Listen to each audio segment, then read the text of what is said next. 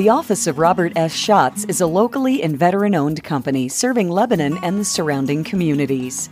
We offer a wide range of services, including landscape architecture, boundary surveys, floodplain management, and so much more. Let our skilled team go to work for you. Robert S. Shotts Incorporated. Call us or visit our website.